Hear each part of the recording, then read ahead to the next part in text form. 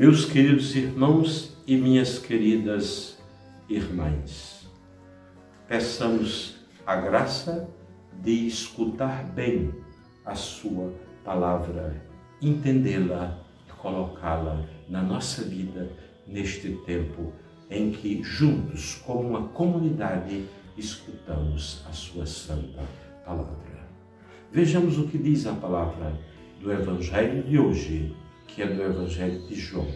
Muito bonita e nos ensina a nós, a nossa terra, os nossos lares, ensina a verdade exatamente da revelação de Deus para que possamos dizer sempre aleluia.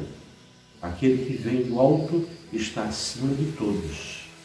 O que é da terra pertence à terra e fala as coisas da terra. Aquele que vem do céu está acima de todos. Dá testemunho daquilo que viu e ouviu, mas ninguém aceita seu testemunho. Quem aceita o seu testemunho atesta que Deus é verdadeiro. De fato, aquele que Deus enviou fala as palavras de Deus, porque Deus lhe dá o Espírito sem medida. O Pai ama o Filho, entregou tudo em sua mão. Aquele que acredita no Filho possui a vida eterna. Aquele, porém, que rejeita o Filho não verá a vida, pois a ira de Deus pertence e cai sobre ele.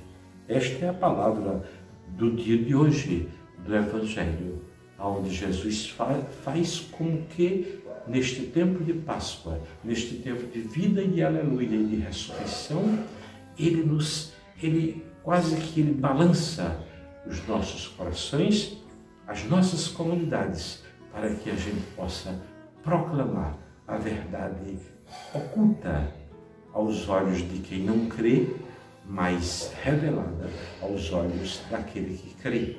Este sim tem a verdadeira vida. Que Deus nos ajude a enxergar a vida a partir desses olhos. É o Pai que nos concede esta força e nos concede esta graça. Que Deus nos abençoe, que Deus nos ajude a, em Jerusalém, dizer aleluia e de Jerusalém olhar cada vez mais as coisas de Deus, as coisas do alto. Louvado seja nosso Senhor Jesus Cristo, para sempre seja louvado. Que Deus nos abençoe, abençoe nossos lares, derrame sua graça em nossos corações. Em nome do Pai, do Filho e do Espírito Santo. Amém.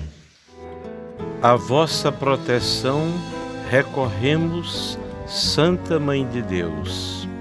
Não desprezeis as nossas súplicas em nossas necessidades, mas livrai-nos sempre de todos os perigos. Ó Virgem gloriosa e bendita. Amém.